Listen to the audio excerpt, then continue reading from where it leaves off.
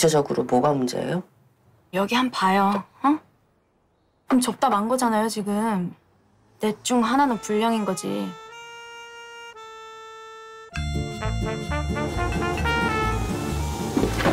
네가 내 대신 얘 과외 선생님 좀 해줘라 영어 기정이가 그렇게 손재주가 좋다며? 서울대학교 문서 위주학과 뭐 이런 거 없나? 아들아, 네가 자랑스럽다. 그 집 사모님이 뭐랄까. 실전은 기세야. 그동안 미술쌤도 여러 명 바꿔가면서 해봤는데요. 하나같이 한 달은 못 버티더라고요. 제가 사람 하나가 휙 하고 떠올랐는데 어머, 너무 궁금하네요. 어떤 분이실까? 아 잠깐. 제시카 외동딸 일리노이 시카고 과 선배는 김진모 그는 이사촌.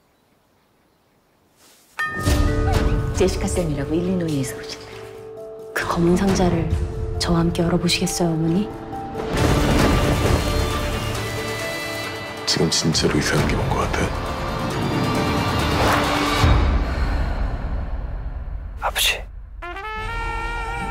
계획이 뭐예요?